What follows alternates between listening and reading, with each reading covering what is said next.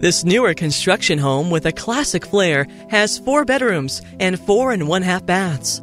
The open floor plan offers a kitchen with a large island, an eat-in area, and open views into the family room with a fireplace and custom built-ins. A finished lower level provides even more room for fun. Enjoy your large backyard and an unbeatable downtown location.